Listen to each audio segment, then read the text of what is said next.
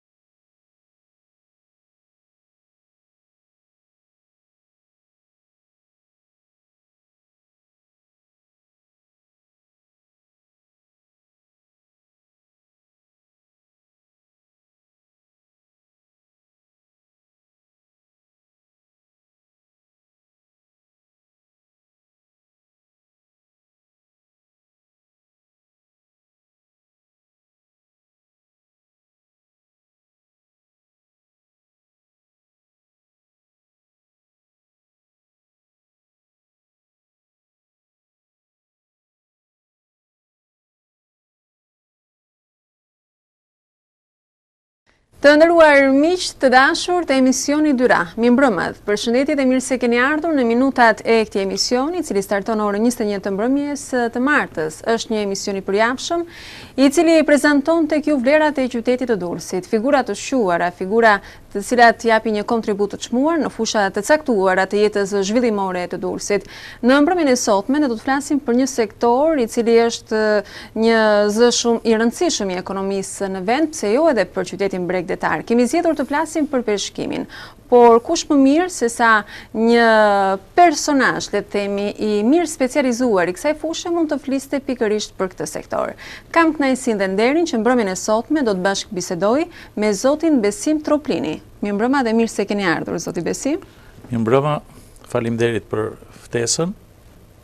Do mundohemi sonde të bëjmë një panoramë në vite dhe sot ku ka qenë dhe ku është peshkimi. Po, zoti Besim. Të nderuar teleshikues, zoti Besim Troplini është biolog peshkimi, nënkryetari i organizatës së peshkimit në Durrës, si edhe pronar i kompanisë Albamar që vepron në qytetin tonë. Ndër të tjera, Besim Troplini kush është? Për gjithë teleshikuesit që na ndjekin. Tani jam qytetar i Durrësit. Mhm. Kam mbaruar studimet e larta në Universitetin e Tiranës për biologji dhe kimi në vitet 77. Për rreth tre vjet punova në arsim, në një shkollë të mesme, dhe në maj të 1980-ës kalova si biolog në peshkimin Durrës. Për rreth 5 vjet punova në drejtimin e flotës së peshkimit pelagjikëve të vegjël me drita, pra të sardeles me pak fjalë. Po. Aktivitet të cilin me thënë drejtën e kujtoj me nostalgji, Pasi e fillova si një specialist i ri, me shumë pasion, me katër anije, dhe kur jam larguar në vitin një mijë e nëntëqind e tetëdhjetë e pesë, e lashë me dymbëdhjetë anije. Pra një flotë të vërtetë. Ishte sektori më i prapambetur në ndërmarrjen e peshkimit Durrës. Dhe me punën time dhe të gjithë kolegëve që kisha në sektorin tim, pra e fillova me rreth dyzet vetë dhe kur jam larguar e kam lënë me njëqind e njëzet kapitenë dhe peshkatarë. Arritëm të realizojmë një prodhim të pa të pa imagjinueshëm më parë. Shfrytëzova mjaft literaturën, por njëkohësisht kam punuar shumë edhe në anije. pra direkt në prodhim, bashkë me peshkatarët. Natyrisht në ato vite, krahas zhvillimit të peshkimit, pra ne nga 400-500 kuintal që ishte kapaciteti një anije, ne arritëm ta çojmë në 2000 kuintal, pra në vitet në 5 vjet, ne gati-gati e pesfishuam sasinë e prodhimit për anije. Dhe kjo falë futjes së teknologjive të reja, Ne në tetëdhjetë e pesën kur fillova unë, pak a shumë shfrytëzonim një teknologji lindore, pra ruse, dhe me kalimin e viteve, ne kaluam nga teknologjia lindore, kaluam në teknologjinë perëndimore, italiane dhe francese. Mhm. Në ato vite fillum të ndërtojmë rrjeta, duke shfrytëzu literaturën që na jepte koha mundësi me e shfrytëzu. Po. Dhe kjo çoi në pesëfishimin e prodhimit. Po. Gjë që u shoqëru dhe me rritjen e industrisë. Ishte një kombinat konservash në Vlorë dhe kur kam ikur unë e lashë industrinë e peshkimit dhe me dy kombinate tjerë, një në Durrës dhe një në Shëngjin. Mhm. Në vitin 85 më kanë dërguar në Itali, natyrisht ndërmarrja, për t'u specializu për peshkimin e vonglave. Aktivitet të cilin ne e bëmë të mundur me e filluar në vitin në verën e vitit 86 me pesë anijet që importuam nga Italia. Natyrisht anijet në fazën e parë u paguan nga një tregtar italian dhe brenda vitit neve arritëm t'i paguajmë vlerën e anijeve me prodhimin e zënë. Pra duke i dhënë tregtarit prodhimin U likuiduan dhe anijet u bënë shqiptare. Për cilin periudhë vitesh bëhet fjalë? Flitet për vitet tetëdhjetë e gjashtë, tetëdhjetë e shtatë. Në vitin, brenda vitit ne realizuam një prodhim rreth shtatë mijë kuintal vongla, tërësisht të eksportuara në Itali edhe në Spanjë. mori një zhvillim, dha një, një, një, një pati, po. pati një rëndësi, dha një input të mhm. fuqishëm, sepse ndërmarrjet e peshkimit ato vite, kanë vujtë shumë pasi dilnin me humbje. Po. Dhe peshkimi i vonglave e ndryshoi bilancin ekonomik të, të ndërmarrjes. Dhe me të vërtetë, ndikoi pozitivisht në tregusit ekonomik të ndërmarrjes peshkimit Durrës. Pra, peshkimi Durrës filloi të dali me fitim. Në vitin 88, pastaj më vonë më çuan për një periudhë të gjatë në Institutin e Biologjisë të Detit në Bari dhe pak në Ankona, ku kam bërë një studim të mirëfilltë për vlerësimin e rezervave peshkore në det. Jam kthyer në nëntëdhjetën, Dhe ishin tamam momentet e kthesës të sistemit. Në 91-shin shtator, 91-shin pasaj, organizova dhe ndërtova një ndërmarrje Alba Marin, ndërmarrje e cila vazhdon të funksionojë me sukses, gjithmonë flasim në fushën e peshkimit. Qëllimi i ndërtimit të ndërmarrjes ishte pikërisht peshkimi dhe eksportimi i molusqeve, pra i vonglave, i midhjeve, e kështu me radhë, i mjaft të llojeve të molusqeve, por që në 94 u bë e pamundur pasi Shqipëria iu mbyll rruga e eksportit për problemet e kolerës që ndodhën në Itali dhe natyrisht edhe ne si vënd duhet të fillonim që të plotësonim një seri kushtesh mhm. që kërkonte BE-ja për të realizu një kompani që duhet të eksportonte dhe vëndi edhe si Shqipëri si vënd. Po. Detyrimisht ndërmarrja ndërroi drejtim, nga peshkimi dhe eksporti i molusqeve filluam të peshkojmë peshk. Pra ndërtuam anije, blemë anije për peshkim. Dhe sot kemi tre anije që peshkojnë me sukses peshk. Po. Jemi të pranishëm në tregun shqiptar dhe në tregun e huaj, italian, grek, serb, prej më shumë se 20 vjetësh, ku operojmë me mjaft sukses. Në, dhe suksesi është në kulturën që kemi patur dhe kemi fituar gjatë këtyre viteve, Për të respektu ato norma higjieno-sanitare, për të respektu ato norma cilësore që kërkon sot edhe tregu i huaj. Tregtojmë me sukses si në vëndet fqinj, por edhe në tregun shqiptar, ku mund të them që jo më pak se 60-65% e prodhimit që ne realizojmë, e tregtojmë në tregun shqiptar. pra në qytetet tona të mëdha.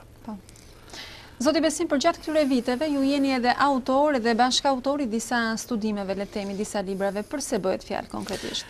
Në vite, në vite, punën time, unë jam munduar ta shoqëroj, jo vetëm me atë punën rutinë të përditshme, pra menaxhimin e anijeve, realizimin e prodhimit, eksportin, por jemi përpjekur të realizojmë edhe, edhe studime që ta mbështesim këtë, këtë aktivitet.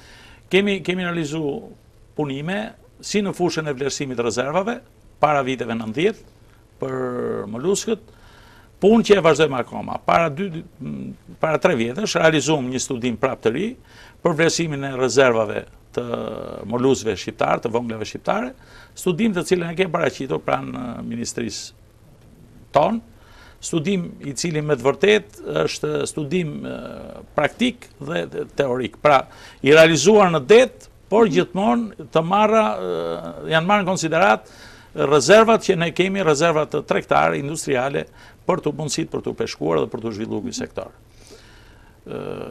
Mund të them këtë, Shqipëria para viteve nëntëdhjetë, me të vërtetë, ka qenë një vend që ka realizu studime mjaft, mjaft të thella, studime cilësore, sepse ne në ato vite kishim dhe Institutin e Kërkimeve të Peshkimit, të cilin unë e kujtoj me nostalgji, kujtoj ato mbledhjet e këshillit shkencor, ku çdo projekt, çdo studim, do bëhesh recenca, do kalonte, do miratohesh, me vërejtjet edhe me të mirat që kishte. Po. Kujtoj me të vërtetë kolegët, që rrojnë edhe nuk rrojnë. Kujtoj me të vërtetë ato specialistët të vjetër, të cilët ndoshta edhe me kulturën ruse, me studimet që kishin bo në Rusi, por që lanë me të vërtetë gjurmë, realizun vepra të cilat janë akoma në punë, janë akoma po. në aktivitet. Pa. Po është pikërisht ky institut që i parapriu atyre viteve, ndërtimit të flotës, së peshkimit, Është ky institut në bashkëpunim me mundësitë reale që pati kantieri i Durrësit për të ndërtuar atë flotë të mrekullueshme peshkimi, shumë të sigurt, që realizonte prodhime për nevojat e vendit dhe për për pak atë pak eksport që bënim, realizoi atë flotë që mbushte, plotësonte tërë nevojat e industrisë shqiptare, flas këtu për industrinë e sardeles, që ishte mjaft e rëndësishme për ekonominë. Ndërsa sot situata është krejt ndryshe. Situata sot, me të thënë të drejtën, që ndjehem keq kur e kujtoj, nuk flitet, flitet pak, pak për t'u parapri aktiviteti tregtar, aktiviteti industrial nga studime, Pasi jemi hedh shumë mas prodhimit spontan, zhvillimit spontan. Pra... Pa i paraprirë më parë. Pa i paraprirë. Për t'i studiuar saktë, në mënyrë që të kemi edhe rezultate të mira, si të thuash në kuadër të prodhimit, apo jo? Unë kujtoj, kujtoj me të vërtetë, thashë edhe pak më parë, me nostalgji mhm. ato vite, Kujtoj atëherë debatin që është bërë në ato vite për për impiantet e midhjeve në Sarandë, për impiantet e shtimit të troftës në në Sarandë, për koranin e Pogradecit, për gjuetinë pelagjike, për vlerësimin e rezervave të peshqve pelagjikë me metodat hidroakustike, Studimet pa fund, studimet pa fund, kujtoj kolegë të mi, si Aleksandër Fllokon, që realizoi atë shtimin e parë të levrekut në Shëngjin, në kushte me të vërtetë, me vështirësi të pallogaritura, por ama realizoi, e bëri, kurse sot, sot, neve mjaftohemi të blejmë rasatin jashtë shtetit, e sjellim në Shqipëri dhe mjaftohemi vetëm me rritjen e tij. Po. Pra, punë të cilat dikur i bënim edhe sot, sot i kemi harruar. Po, po. Zoti Besim, si mendoni, kush janë pikat e dobëta që nuk e lejojnë të zhvillohet sektorin e peshkimit, konkretisht sot që flasim?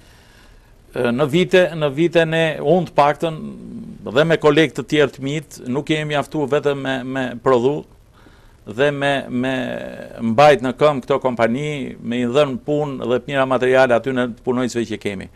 Jemi mundu gjithmonë që të ngremë zërin edhe për sa i përket të ardhmës së peshkimit shqiptar.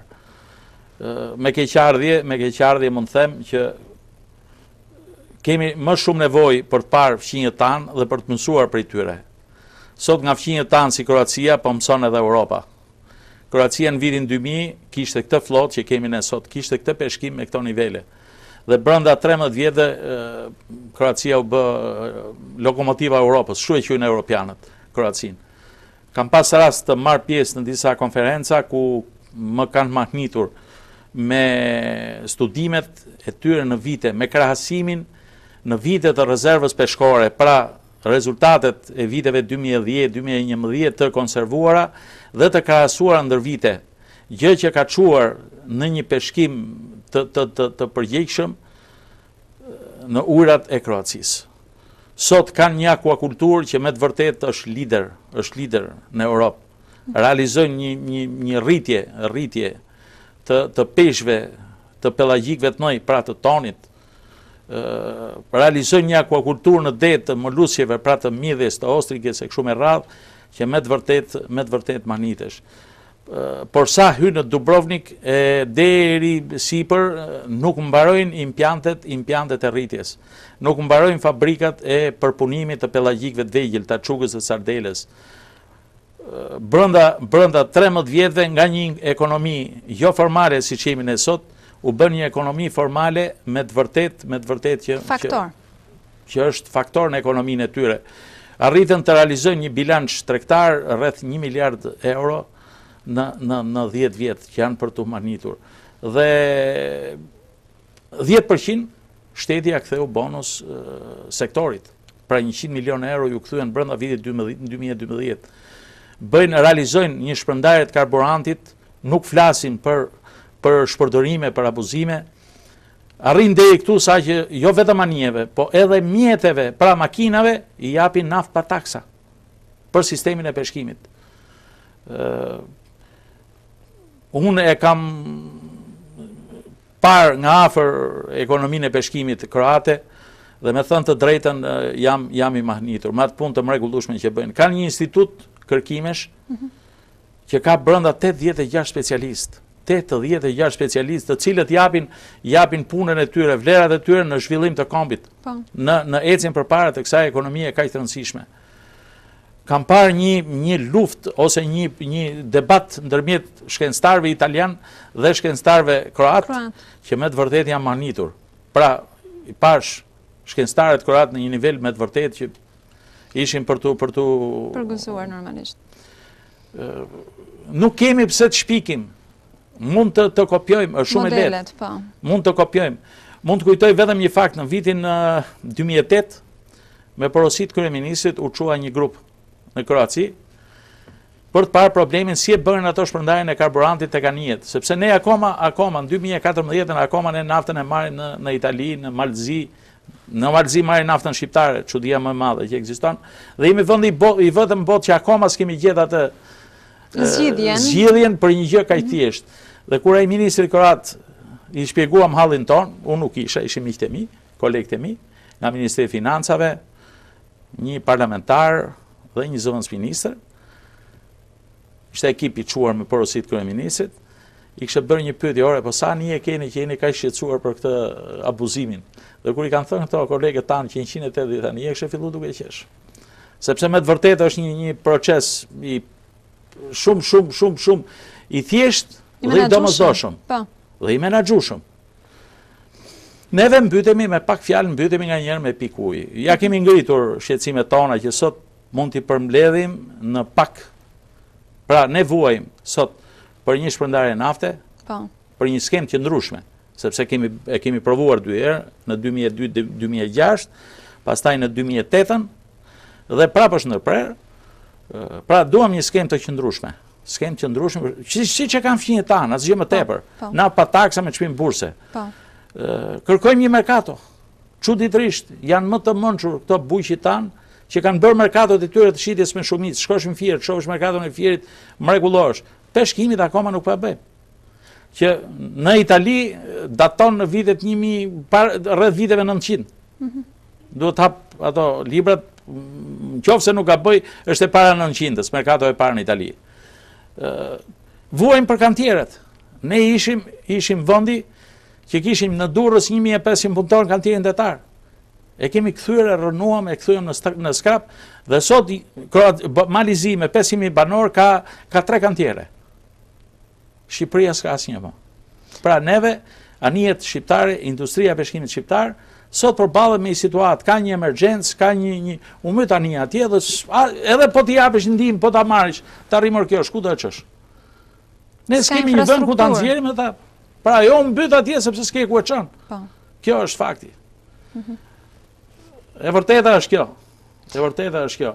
Ë një industri që ne kur vjen puna, kur vjen puna për të shkruar, jemi të mrekullueshëm. Për ta zbatuar, për ta për ta realizuar, për ta çuar përpara, unë nuk e kam patur atë pyetësorin, Po, kolegët e mi më kanë thënë që të paktën, të paktën janë 70 faqe flasin për peshkimin, si industri, industri parësore, mhm, se kështu konsiderohet në gjithë Evropën. Kurse ne jo parësore, po ne s'po arrijmë dot t'i japim atë minimumin e domosdoshëm. Fundore mbase. Zoti Besim, a kemi neve një institucion specifik që merret me peshkimin dhe si funksionon marrëdhënia mes këtij institucioni dhe sektorit në fjalë? Në vite peshkimi me të vërtetë ka pasur atë do të flasim gjithmonë pas pas vitit 91 ka patur ato shqetësimet e veta, por për peshkim tamam, të vërtetë mund të flasim pas viteve 2000. Mm -hmm. Fatkeqësisht kemi një ecuri jo të keqe nga 2002 deri në 2006. Në 2006-ën peshkimi kaloi tek Ministria e Mjedisit, Personalisht kam qenë kundër, sepse mjedisi merret me ruajtjen, ne merremi me shfrytëzimin. Po. Pra, nuk ka si si t'i çosh ti një, një biznes i cili është shfrytëzues. Ai duhet të më kufizojë, duhet në dhe sasira. Po. Ne shkuam tek mjedisi. Pra, kjo ishte kontradiktore. Kontradiktore ishte edhe sepse në të gjithë vendet e BE-së, peshkimi është tek bujqësia.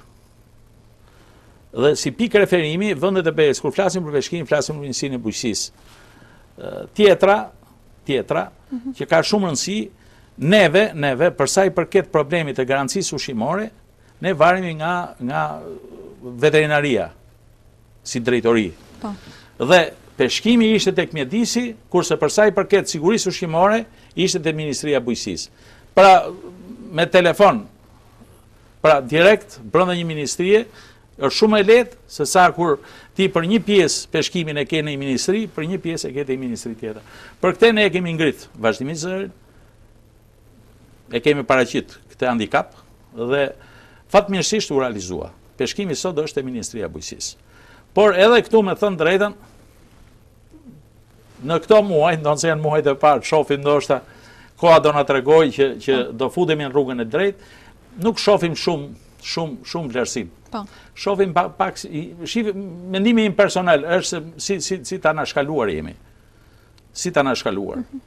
Jemi mundu të krijojmë raporte me ministrin, i kemi paraqitur me shkrim të tërë problematikën e peshkimit, tani thashë janë muajt e parë, Po. Domethënë, qeveria porsa ka ardhë në pushtet, shofim si do venë, si do venë hallet tona. Po. Po bëjmë përpjekje për ta realizu skemën e shpërndarjes së naftës. Po. Në këtu, në vend, urojmë që të realizohet dhe sa më shpejt. Konkretisht dhe aktualisht, sa punonjës ka peshkimi, pra sa familje mbahen pikërisht me të ardhurat që vilen prej këtij sektori? Jo në në Shqipëri, po dhe në Europë, peshkimi është një hallkë që në në hallkën e parë, në hallkën e parë peshkimi si numër, si numër në dukje duket sikur numri është i vogël. Po. Pra, po ta shohësh peshkimin, flas vetëm peshkimin detar jo akuakulturën, peshkimin nëpër liqene, domethënë, sepse peshkimi është shumë i shtrirë. Po. Unë nuk mund të flas sot për uh, akuakulturën, ose për lagunat bregdetare, sepse jam i njohtur, Por nuk jam i tamam i profilit, pra jam i peshkimit detar. Po. Unë jam tërësisht i peshkimit detar. Po. Tërësisht i peshkimit detar. Peshkimin detar, tani mund të jenë rreth 2.000 familje, si hallkë e parë, po. që jetojnë nëpërmjet këtij aktiviteti. Por këto 2.000 familje, këto japin disa mijëra ton, disa mijëra ton, peshk, të cilat shkojnë Duke fillu jo në merkato sot, po tek magazinat, të cilat janë në të gjithë qytetet, funksionojnë, po është një numër mjaft i madh të punësuarish, shkojnë në dyqane, përsëri janë në çdo qytet, mund të themi mbi 20 dyqane, si Durrësi, Tirana, Tirana ka shumë më tepër, por Durrësi mund të ketë mbi 20 dyqane dhe janë të punësuar mjaft, mjaft. Pastaj flasim për thjesht mekanikën, rrjetat, anën elektrike, elektronike, pra ku do... Çështjet infrastrukturore, le të themi pra, që e përbëjnë. Pra është një sektor, një po. sektor që jep mundësi pune shumë herë mbi këtë dy mijëshin, që është si, si hallkë e parë. Që po të jetë i zhvilluar normalisht, do të jetë akoma më i zgjeruar. Ne kemi shprehur, peshkimi, edhe peshkimi detar që unë e marr sot në konsideratë, punon me një këmbë, çalon. Po. Pra, funksionon peshkimi detar vetëm me peshkimin fundor. Ne kemi sektorin e peshkimit molusqeve të cilët fola për vitet 85, mijëra kuintal të zëna, vlera monetare të pa, pallogaritshme. Sot neve si peshkim detar, të paktën paktën mund të shkojmë rreth për mendimin tim, si hallkë e parë, si hallkë e parë si peshkim detar, ne mund të shkojmë jo më pak se 15000 të punësuar. Dhe këto pastaj Të thuash që do të, do të, si hallkë e dytë do të shkojmë mbi 30.000 është pak. Mhm. Mbi 30.000 është pak. E vërteta është kjo, në qoftë se nuk do të ishte peshkimi kaq i rëndësishëm, bota e zhvilluar nuk do e vinte në industritë parësore. Po. Pra është industri parësore. Mhm. Kjo është koncepti im. Dhe s'i jepet rëndësia e duhur, le të themi? Neve na rrëmben nganjëherë ose ose thash se edhe të korrigjosh nuk është nuk është nuk është e vështirë, është e thjeshtë. Është e thjeshtë. Ashtu, po mendimi im është ky. Mendimi im është ky. Në në të vërtetë unë punën time jo nuk i bëj të gjitha vetë. Nuk i bëj të gjitha vetë. Unë bëj drejtimin. Dhe poshtë kam ato kapitenët, brigadierët, Dhe secili prej tyre për punën e vet. Specialistët. Pra, specialistët zhvillojnë punën e tyre. Sepse, po, po t'i marrësh përsipër të gjitha vetë, asgjë nuk bën pastaj në fund fare. E vërteta është kjo, në qoftë se, në qoftë se, në një ministri, do, do funksionojnë hallkat poshtë, pra në qoftë se ne do kemi një drejtori peshkimi të zhvilluar me specialistë, Të kthehemi edhe një herë se u bë pak në Kroaci nuk mund të bëhesh dot drejtor peshkimi, po s'pate 10 vjet përvojë prodhimi. Pra është në ligj. Ai e ka sanksionuar në ligj. Kryeinspektori i peshkimit, ai nuk e merr një nga rruga se është miku im. Po. Edhe i thotë, "Shko ore ti atje në peshkim dhe bëj inspektorin e peshkimit." Jo. Duhet të ketë arsimin përkatës biolog ose veteriner dhe të ketë 10 vjet në një kompani peshkimi. Dhe ai kryeinspektori din çfarë duhet të kontrollojë pastaj. E njeh të gjithë procesin e punës. Pra, me pak fjalë edhe këtu, ne vuajmë në sektor, vuajmë për mosaktivizimin e njerëzve, mosaktivizimin e specialistëve, ne sot në ministri për peshkimin detar s'kemi asnjë njeri. E ç'peshkim detar do çojmë përpara. E vërtetë. Kur s'kemi asnjë... Që të ngrejë zërin dhe të flasë. Ore, zërin po e ngremë ne, po duhet na, na dëgjojë dikush atje. Brënda në institucion. Brënda në institucion duhet na dëgjojë dikush. Mm -hmm. Sepse ne flasim edhe asgjë s'kemi letë masi kemi furne. Po, Kjo po. është e vërteta. Zoti Besim, pothuajse një jetë e tërë kushtuar peshkimit dhe kryesisht sferës së biologjisë, të cilën ju për cilën ju jeni specializuar. A kemi ne një akuakulturë të zhvilluar si bregdet, si mendoni? të pasur, ë? Neve, neve për të për të për të folë për këto tema kaq të rëndësishme, mm -hmm. mendimi im personal është kjo, paraprakisht duhet me pregatit një spot, një spot në vendet fqinj. Dhe pastaj ta krahasojmë. Mjafton të hedhim sytë, mjafton të hedhim sytë, të ngrihemi në orën 7 mëngjesit në një hotel në Itali, buzë detit, dhe dalim të, te dritarja dhe të shofim ç'ndodh përpara hotelit. Me dhjetra e me dhjetra barka që punojnë. Shkojmë tek një hotel shqiptar i buzës ujit, hedhim sytë edhe shohim një mar, një det të qetë, asnjëri që lëviz, asnjë barkë ose ndonjë barkë tek-tuk, po ndonjë barkë e vogël, ndonjë barkë që ndonjë peshkatar i, i mbaruar kur, kur, që lufton me detin për me qitë bukën. Shqiptarët kanë arrit deri ato pedalonet, dhe prandaj mbytemi nëpër det, deri pedalonet i përdorim për peshkim. Sepse neve, neve e kemi shumë vështirë, e kemi shumë vështirë të të bëjmë një peshkim, të bëjmë një strategji. Mhm. Të bëjmë një strategji, të ndërtojmë ca barka, të fillu që nga ato 6 metroshet, siç i ka sot Italia, siç i ka Kroacia, po të sigurta të paktën për të ndru, të sigurta për, një, për, për jetën e njerëzve në det, të sigurta, të sigurta për atë që del për të siguru bukën e gojës që nesër të jetë në shpi. Pra, jo vetëm të bëhet të mbajë familjen, po të bëhet edhe edhe mundësi zhvillimi, të po. bëhet edhe mundësi zhvillimi. Po. Pra, bregdeti jonë është aq i pasur, bregdeti jonë ka aq kapacitete sa ne çdo ditë ose të kishim bërë nga një hap, nga një hap të kishim bërë përpara, sot do ishim me të vërtetë aty afër ku është Kroacia, nuk themi ku është Kroacia, po diku të paktën. Po. Kurse sot, me thënë të drejtën, të vjen keq, të vjen keq. Për ça akuakulturë mund të flasim, përjashto këtë të koce, levrekut, rritjen që po bëjnë po sot në,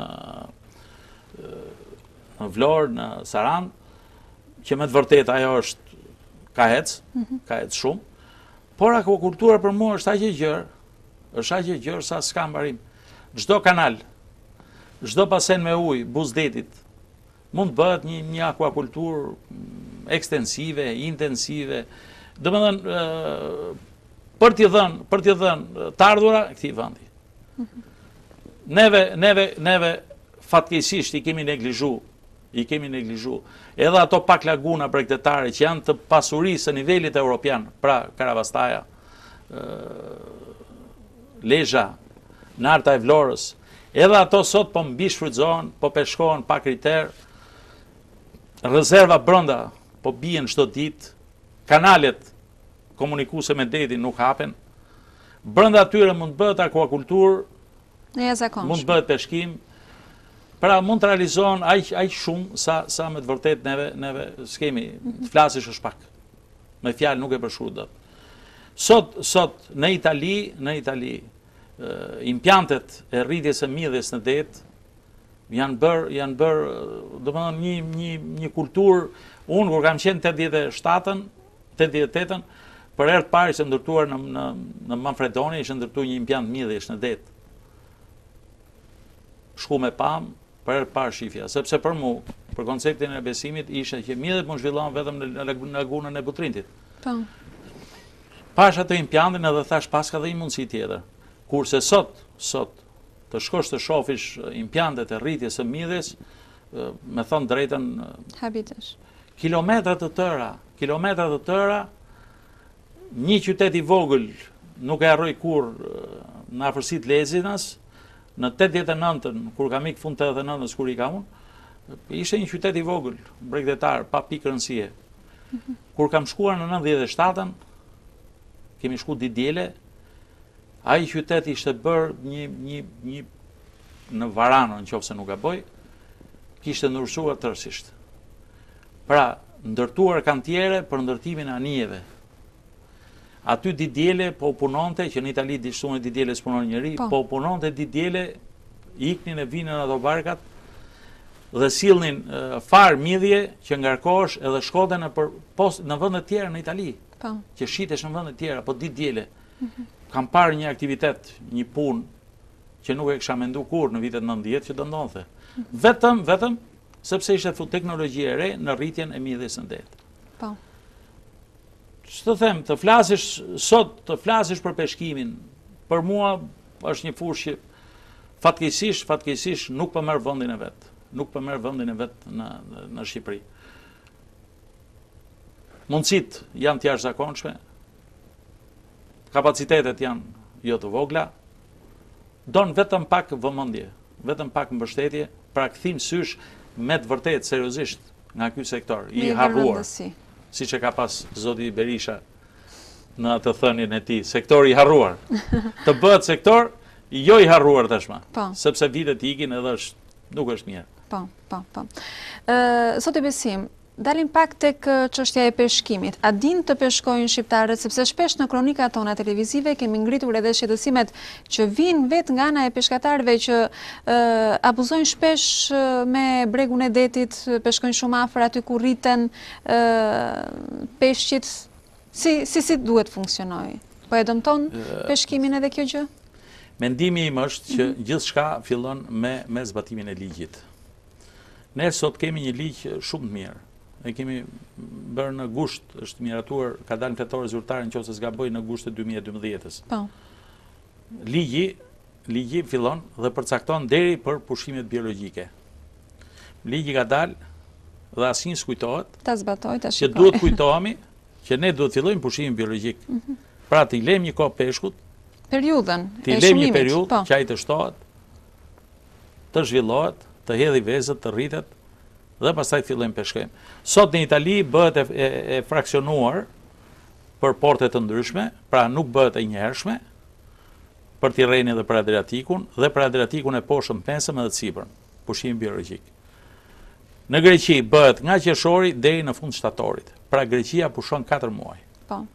Kurse ne kemi historikisht s'njofim vetëm dil ndiz motorat edhe peshko. Ç'është më e keqja, ç'është më e keqja? Neve ë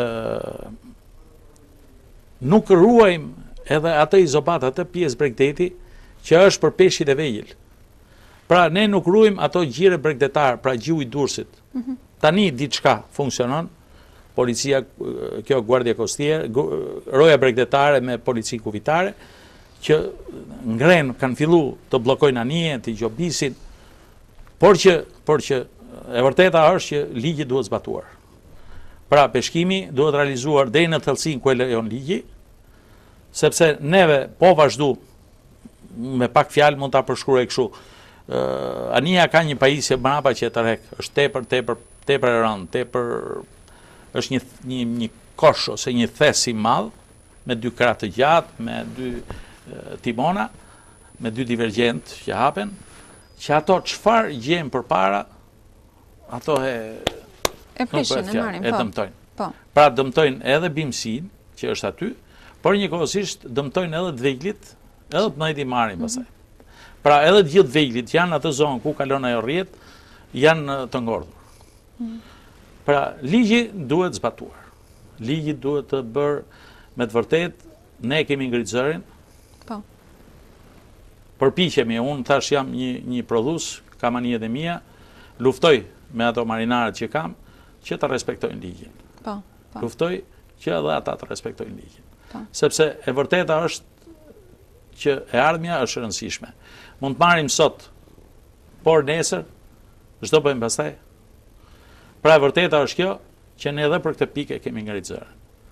Pra që të respektohet ligji, Të ruhet, të ruhet gjiret bregdetare, Karavastaja, Bishti i Pallës, Kepi Rodonit, Gjiu i Vlorës, Gjiu i Durrësit dhe anijet të peshkojnë jashtë domethënë 30, 40, 50 metra. Ligji e ka deri në 50 metra për gjuetinë fundore, 30 metra për gjuetinë pelagjike, por duhet rujt patjetër. Duhet rujt patjetër. Kemi, kemi anije që me të vërtetë futen akoma, futen akoma, bëjnë dëme. Këtu, këtu duhet të veprojë ligji, po. duhet të veprojë ligji me po. forcën e tij. Kemi vu pajisjen Blue Box, anijet janë të identifikushme kush e shkil. Mhm. Kjo është. Por ama, por ama, një pikë tjetër rëndësishme është edhe që anijet me peshkim fundor, mendimi jonë është që duhet të, të mbyllet urgjentisht numri. Urgjentisht duhet të mbyllet numri, pasi numri i tyre në Shqipëri është më i lartë dhe rezulton që ne po bëjmë mbishfrytëzim, jo shfrytëzim. Po. Pra jemi në kufijtë e mbishfrytëzimit. Kjo është me pasojë për të ardhmen. Shumë e drejtë. Dhe, mhm. dhe duhet të mbyll patjetër me një vendim qeverie, me një VKM, e propozuar natyrisht nga ministria jonë urgjentisht. Po. Ky është mendimi jonë si specialistë edhe si si shfrytëzues po. të sektorit. Po. Ju e përmendët pak më lartë, zoti Besim, edhe çështjen e tregut, të një merkatoje të mirëfilltë për prodhimet e detit, apo jo? Si mund të investohet në këtë drejtim, sigurisht duke rregulluar më parë edhe këtë pjesën e sektorit të peshkimit apo jo? Tani e vërteta është kjo, cikli, cikli mbyllet në këtë merkato, në të gjithë vendet e zhvilluara.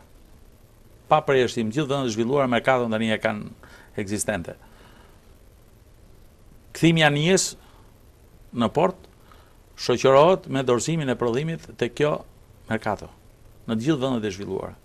Kjo garanton sigurinë ushqimore, garanton zbatimin e ligjit, që anija ka gjujt konform me ligjin, dhe që është më rëndësishme, që është më rëndësishme, prodhimi merr një vlerë Sipas kërkesë-ofertës. Pra kjo nuk është thjesht një merkato, kjo është një ast ose një bursë e peshkut. Dhe prodhimi, sipas kërkesë-ofertës, sipas sasisë që ka leju koha me u prodhu, merr edhe vlerën e tij. Pra nuk bëhet fjalë më për monopol, nuk bëhet fjalë për monopol të tregut të peshkut. Fatkeqësisht sot, sot peshku, kjo është personale e imja, po. është monopol i grosistëve, të cilët, pa dalë anija në gjueti, ai ka bërë një marrëveshje që kilogrami merluci do jetë 6.000 lek. Pra, erdhën 500 kile merluci, apo erdhën 50 kile, 6.000 lek do paguan. Gjujti me sakrifica me mot keq, apo gjujti me me kohë të qetë fare pa asnjë lloj sakrifice anija, prap 6000 lekë është. Të reja, të vjetra, më falni. Po, po. Pra, kjo nuk është stimuluse. Dhe nga ana tjetër, nga ana tjetër, që është akoma më e rëndësishme, që t'i themi tamam gjërat siç janë, kjo merkato e bën sektorin formal. Pra në momentin që vjen prodhimi në merkato, shitja aty bëhet, mhm. me me me me duke duke duke respektu rregullat dhe ligjet e tregut. Këto janë pak a shumë që merkato është hallka e fundit e prodhimit që me të vërtetë ka një rëndësi strategjike për mendimin tim për për industrinë e peshkimit. Po. Kjo e formalizon sektorin. e formalizon, e bën sektorin që nesër asnjë mos të ngrihet dhe të thotë, oh, u kapën pesë mijë ton peshk, por ne gjithë e gjithë shesim me fatura, me dokumenta, një mijë ton. Aty s'bëhet fjalë më. Mhm. Kjo është pjesa e merkatos, që me të vërtetë është Për ta theksuar edhe njëherë, Zoti Besim, a është industria e peshkimit një burim të ardhurash për ekonominë shqiptare, që mund të zgjidhi edhe shumë çështje të tjera në këtë kuadër krizash dhe si mund të zhvillohet konkretisht. Mendimi im personal është ky që peshkimi mund të bëhet një stimul mjaft i rëndësishëm për për ekonominë e vendit.